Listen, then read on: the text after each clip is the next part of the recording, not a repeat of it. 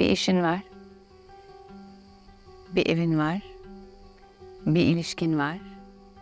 Biliyorsun ki eskisi gibi değil. Elinden geleni yaptın. Sanki artık zamanını doldurdu. Evet, zamanı doldurdu. Bırak gitsin. Bırak gitsin. Erteleyip duruyorsun. Lütfen erteleme. Ancak tabii ki yap yapacağını, dene, şudur budur, aklın kalmasın. Ancak böyle buranda biliyorsun ki tamam ya evet bir zamanlar bana çok güzellikler verdi. Ben de çok güzellikler paylaştım. Ancak artık değişti. Burası beni beslemiyor. Bu ilişki, bu ev, bu alan, bu iş neyse o. İstanbul'dayken çok yakınlarımla buluştum ve hep bu konu geldi biliyor musun?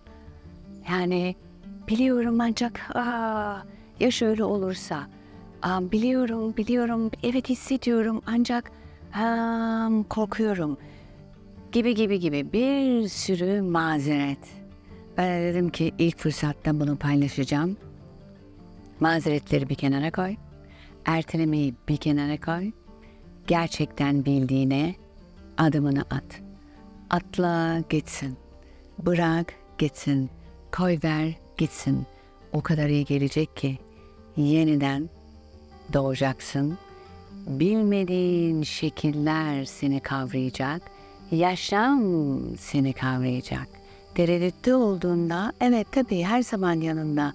Ancak sen bilemiyorsun ki kim yanımda, o mu bu mu değil mi? Böyle bilinmeyene kendini bıraktığında gerçekten sezgilerini, kalbini dinlediğinde hiç hiç hiç merak etme.